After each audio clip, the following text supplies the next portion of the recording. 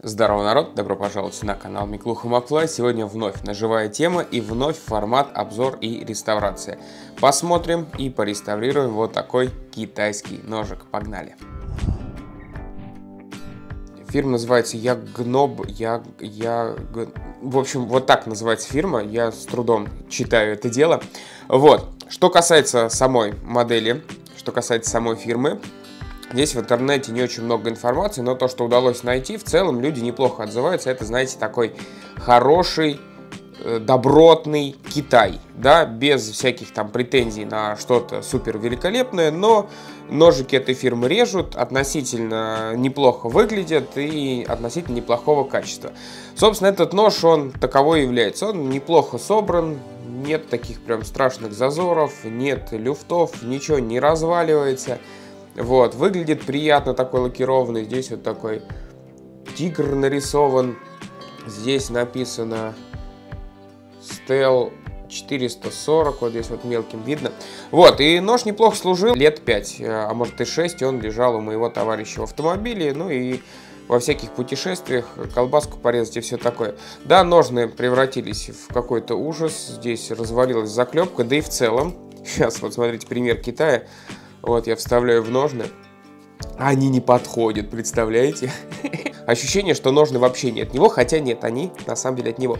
Вот, и все было бы неплохо, если бы не так давно один мой товарищ, э, не владелец этого ножа, другой товарищ, э, не подумал, что неплохо было бы отколоть с брызговика у машины э, лед при помощи этого ножа. Ну, он начал вот так ножом колоть лед, и в него отвалился кончик. Соответственно, нож попал ко мне, нужно будет его привести э, в нормальное состояние э, переточить, естественно, вот, и сделать ножны, но изготовление ножны это будет отдельный ролик, сегодня не о ножнах, сегодня о ноже.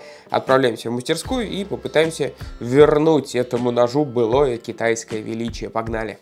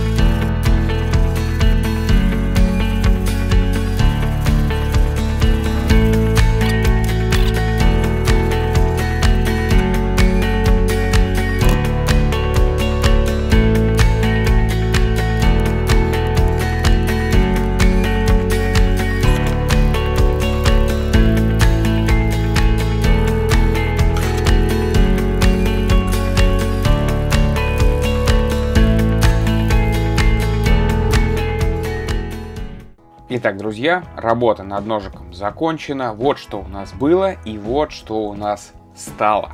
Вот такой вот замечательный нож. Естественно, ножны я выбросил, сшил новые, но сейчас речь не о ножнах. О них, кстати говоря, будет отдельное видео. Потом посмотрите. Давайте поговорим про нож. Вот такой он прикольный стал. Я исправил у него кончик. Видно, что да, ну так сточил. Точил я его очень долго, реально раза 4 я его перетачивал, потому что результат меня не устраивал. Вот эти шпилечки пошлифовал старым добрым армейским методом, то есть иголочкой. Ну и давайте, наверное, проверим немножко его заточку, что у нас получилось. Превосходно. Отлично режет. Так, ну и поговорим, собственно, о китайских ножах, друзья. Их все а, не любят. Хотя, с другой стороны, кто все? Их не любят всякие нажиманы, коллекционеры, суперспециалисты, выживальщики, коих в интернете развелось очень и очень много людей. По мне, ничего плохого в китайском ноже нет. Это на самом деле, ну вот в данном случае вот это, это хороший нож. Хороший, качественный, ручка держится, ничего не болтается. Да, может быть сталь там не супер какого-нибудь там порошкового качества. Но, друзья, вам супер порошковое качество, когда на природе порезать колбаску на косу, может и не нужно совсем. Может проще купить вот такой вот нож, там, за 500 рублей. И его и не жалко, и потерять не жалко, и сломать не жалко, и вообще не жалко. И хочу больше сказать, что вот кто говорит, что китайские ножи, мол, очень плохого качества, там сталь плохая. Друзья, человечество на протяжении всей своей истории использовало ножи в миллион раз худшего качества. Вы думаете, каким средневековые засапожные ножи были лучше, чем этот? Нет, это было просто железяка, которая ржавела, которая очень дорого стоил, у которой не пойми какая была сталь. Здесь как минимум нержавейка, она держит заточку и судя по э, искрам, которые, когда я перетачивал, были же искры. Они были очень мелкие, их было очень много. Соответственно, сталь закаленная. Это, и это сталь на самом деле, и она режет. Поэтому, друзья, ничего стыдного в том, чтобы владеть э, китайским ножом, я не вижу. Э, не обязательно переплачивать за бренд. И вот такой нож у меня сегодня получился. Это был канал Миклуха Макфлай, друзья. Делайте вещи своими руками. Подписывайтесь, комментируйте, ставьте лайки. Пока-пока.